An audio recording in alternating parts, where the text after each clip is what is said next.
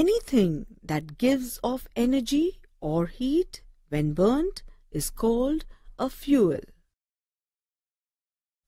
A fuel may be a solid, a liquid, or a gas.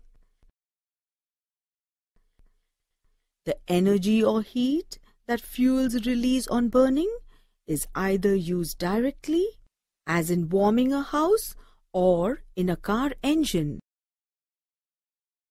or is used to generate electricity, which in turn is used for other machines. Fossil fuels Coal, gas and natural oils like petroleum are fossil fuels as they come from within the earth. When we burn these, we are using fossilized energy.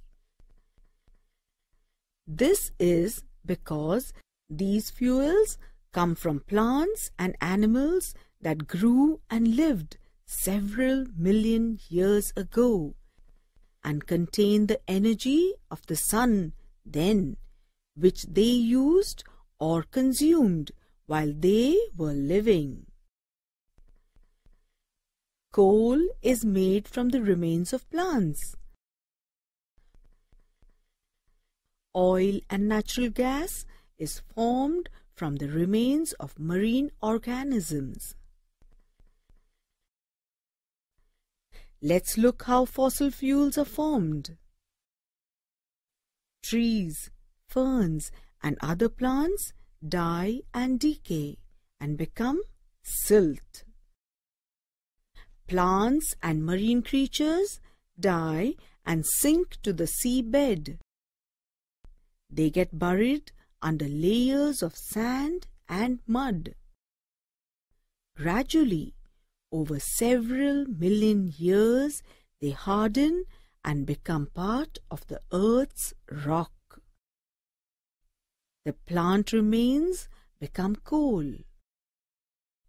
Pressure due to the weight of the rock, heat, bacteria, and chemical conditions slowly convert the remains of the organisms into oil and natural gas.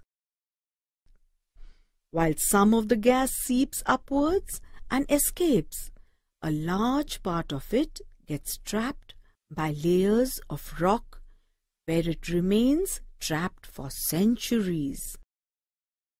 Now, oil companies search for it with the help of geologists. While coal is regarded more as an electricity source, petroleum is regarded more as a transportation fuel. Every day, we use over 85 million barrels of oil. Fossil fuels are our world's piggy bank of energy, and when we use them up, we are using up our savings. But supplies of these fuels are limited. They are not being replaced as fast as they are being consumed. One day we shall have none left. It is very important to have alternate sources of energy which will not run out. We should use more of solar power, wave and tidal power and wind power as these will never run out.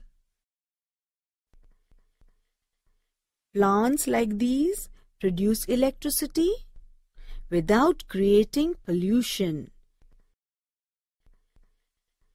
Burning of fossil fuel causes acid rain. This is very damaging. Almost half the known reserves of oil are in the Middle East. Coal is found in every continent. Thus, Earth is a rich resource, but it is the only resource we have. Hence, we need to use our resources judiciously.